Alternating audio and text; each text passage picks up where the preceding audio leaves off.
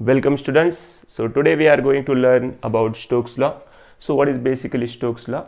So, in last lecture, we learn about viscosity. Viscosity क्या होता है, ये हमने देखा था अभी हम in case of Stokes law देखेंगे, जो विस्कस फोर्स का जो रिलेशन है वेलोसिटी के साथ, वो क्या होता है, ये देखते हैं so basically when liquid drop जब भी रेन का जो लिक्विड ड्रॉप नीचे की तरफ़ आता है ग्राउंड की तरफ़, तब क्या होगा जो एयर का रेजिस्टेंस है, वो उस पर लगेगा और जो अदर एग्ज़ाम्पल है, आप उसमें देख सकते हैं कि बेसिकली जब भी एक स्पेरिकल बॉडी है, वो लिक्विड में करे विस्कस लिक्विड में जब आएँगी, तब वहाँ पे कुछ फोर्स लगेगा। So that force is directly proportional to the velocity so according to the Stokes that viscous force that is F V is directly proportional to coefficient of viscosity that is eta the radius of that sphere in case of example of liquid drop the radius of liquid drop और in case of spherical bob that time its radius is R and is directly proportional to its velocity so according to Stokes law the viscous force is directly proportional to the radius of sphere its velocity from the viscous medium and eta what is eta is here that is coefficient of viscosity so यहाँ पे जो एक constant uh, हमें लेने का है जो experimentally एक जो कॉन्स्टेंट लिया है, वो क्या है? Six pi so here the formula is for strokes law that is F V is equal to six pi eta R we so ये जो है एफ़ वी जो है, वो क्या है? Viscous force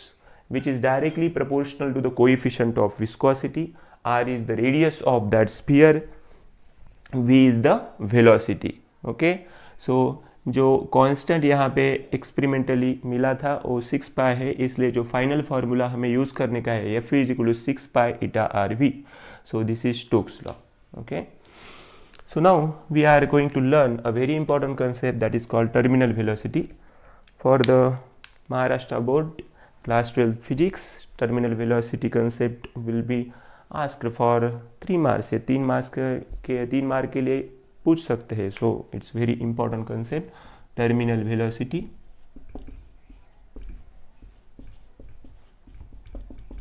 see here. Now, let us consider there is a container which consists of some viscous fluid. यहाँ पे कुछ विस्कस फ्लूड मैंने यूज़ किया है।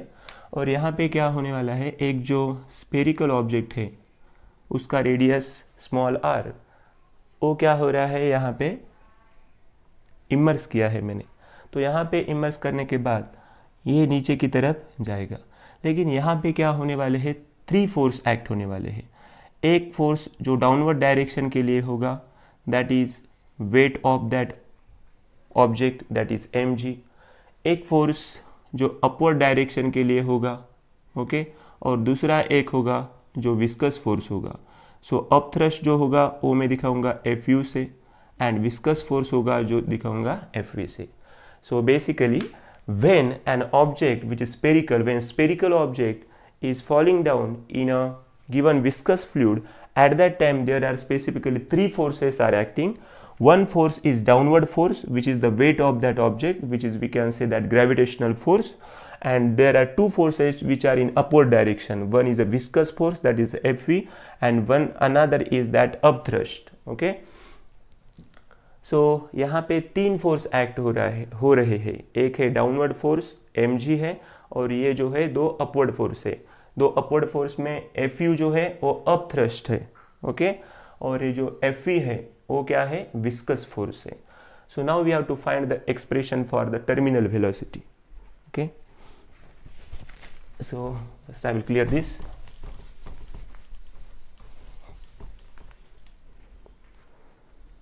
See here. The downward force.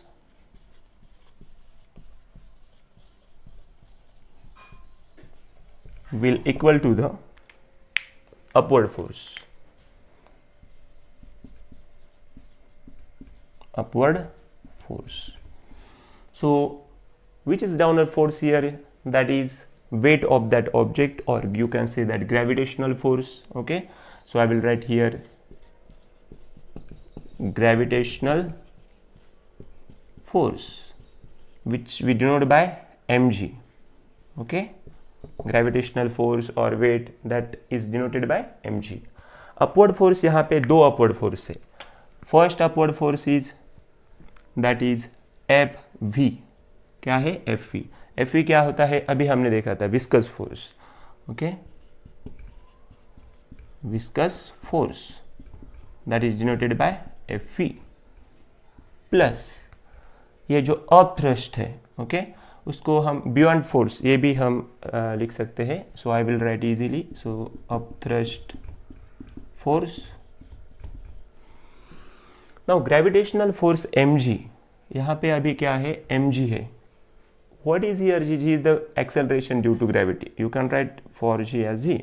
But what is here M M is the object mass ये जो object है, उसका मास है।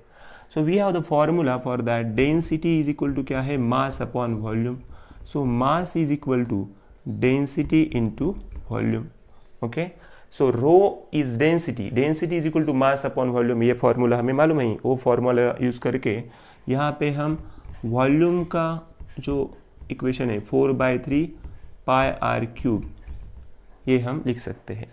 So see here rho is the density of that object and what is here V V is the volume so volume क्या है? Spherical object का volume क्या होता है? Four by three pi R cube so for M we can write rho into four by three pi R cube so here rho four by three pi R cube viscous force का formula अभी हमने Stokes law से solve किया था। क्या है वो? Six pi eta R V okay six pi eta R V here up thrust up thrust के लिए अभी यहाँ पे एक आपको समझने का है कि जो जी है here you have to also write G no problem see here ये क्या है? मास है okay mass into acceleration due to gravity here also you have to write same formula, but instead of rho, you have to write here sigma. So, here 4 by 3 pi r cube what is rho and what is sigma here see rho is the density of that object and what is sigma sigma is the density of that viscous fluid ये जो fluid मैंने यहाँ पे जो use किया है उसका कुछ पर्टिकुलर डेंसिटी होगा उस डेंसिटी से वहाँ पे क्या हो रहा है अब थ्रस्ट फोर्स मिल रहा है so basically what is rho rho is the density of that spherical object and what is here sigma? Sigma is the density of that viscous fluid. Okay, so very easy. Here is mg's formula. M ka value ye hai. M into g. Here also this is m and this is g.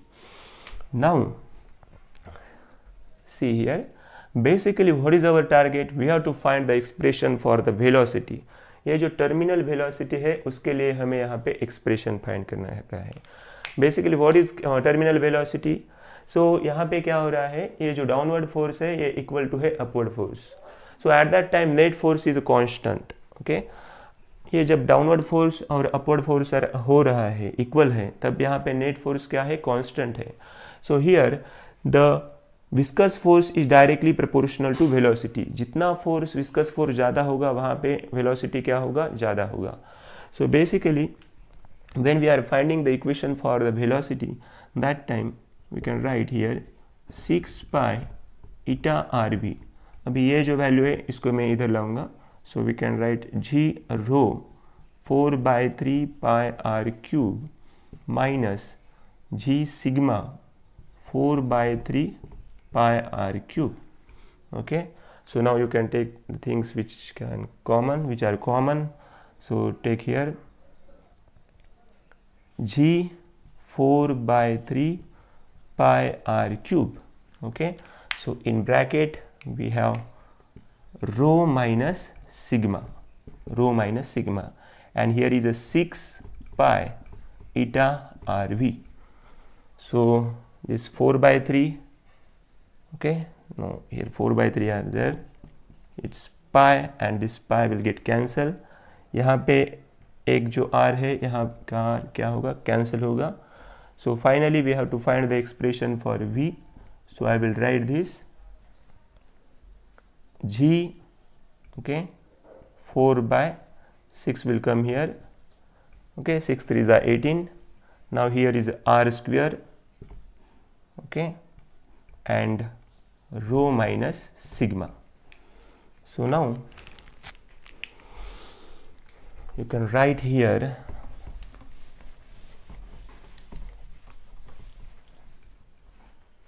so I will write V at this side. So now just divide it by 2 so it will be 2 by 9 here r square sig this uh, coefficient of viscosity will come here and then here we have rho minus sigma divided by that is eta into g so this expression we are getting for terminal velocity okay यहाँ पे जो ईटा है यहाँ पे division में आया है और यहाँ पे 4 बाई एटीन के लिए मैंने 2 बाय नाइन डिवीज़न किया है so we have v is equal to two by nine R square rho minus sigma into g upon eta. So this is the expression for the terminal velocity. And uh, what is here? R? r is the radius of that sphere. Okay? R kya hai yahan pe radius hoga ye sphere ka what is here? Rho rho is the density of that sphere. Sigma is the density of the viscous fluid. G is the acceleration due to gravity. And eta is the coefficient of viscosity so in today's class we learn about stokes law and terminal velocity expression. Thank you